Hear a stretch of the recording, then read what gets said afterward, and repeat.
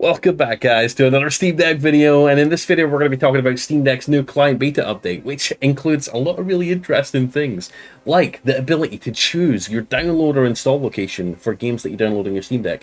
And for those of you with a micro SD card like me, a pretty big one, I've got a 1 terabyte here, it allows me to decide whether I'm going to install a game to the internal SSD or maybe install it to the micro SD card. And maybe if you're just a mad person and you have a USB drive up here for games, you can maybe choose to install it on a USB drive, you know, as well. So having that option to choose where you install your games to it's the icing on the cake. Let's get into it. Anyways, guys, I'm Blaze2k. Please like, subscribe, click the bell icon for more Steam Deck content every single day. Let's get into this video, though, and talk about this new update.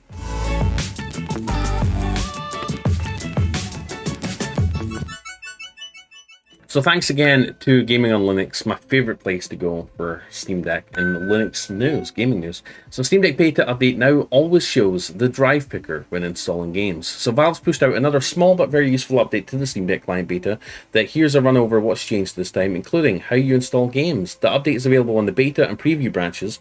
To change, you can go into the settings, system, and Steam update channel to switch over if you're not already on the beta channel. So here's what's new. So general, when installing a game, um, when installing a game, always show the install location picker if there's more than one library folder, and automatically focus the default library folder when the dialog shows up. So, like I said, when you're installing a game, if you potentially have a Steam game library on your micro SD card or even a USB drive, it's going to show you the drive options now to where you can install your games to. This is going to make it so much easier. I think you could do it before, but it was a little bit more of a convoluted process. But the fact that it shows up now as it does on like the desktop Steam client um, and allow you to have more control over where you install your games to. I think this is a big deal, especially for people that have exter external storage like micro SD card.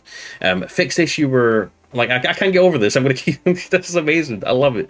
I just love it's little things like that that Valve improves, which makes me so happy. Fixed an issue where Steam would be unable to connect in some cases after a suspend resume. Resume.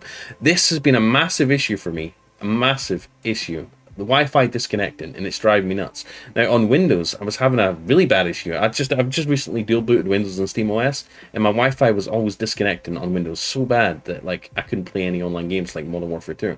Well, apparently I just had to uninstall the baked-in Steam OS or uh, the Steam Deck Wi-Fi driver and just let Windows install its own driver, and that basically if that basically fixed it. But for for SteamOS, it does happen also, and I'm glad they've they're pushing out more fixes. Um, fixed issues where the main window would close and then be reloaded when selecting a friend in a previously or recently played, when selecting a guide in the game's community feed, and when selecting the downloading label on a game's detail page. So they've basically fixed an issue where the main menu, main window would close and then be reloaded be reloaded. We've also made some fixes to desktop mode. Center the pop-up Center the pop-up controller configurator window when viewing controller layout. Okay. Fix the old version of big picture mode opening when hitting the Steam Guide button on the Steam window. Okay. Interesting. And fix recently played games not showing up in the recent game shelf in the library. Hmm. Okay. So, interesting. Very cool. So thank you, Gaming on Linux, for that update. So there we go. I'm really stoked about that because, like I says, I've basically got a one terabyte micro SD in my Steam Deck um, that I'm planning on using for storing my gaming ROMs for emulators like Emulation Station, and also obviously Steam games, and being able to easily when I'm downloading the game decide whether I want to install it onto the internal SSD or whether I want to install it onto the micro SD. I think that's it's only it's such a time saver, really. So let me know in the comments what you think. Anyways, guys, thank you for watching this video. If you want to see more Steam Deck content every day, stay up to date on all the gaming news with this, regards to the Steam Deck, consoles, gaming, tech in general, please like and subscribe, click the bell icon. Anyways, have a wonderful day. I love you. Enjoy your Wednesday, okay?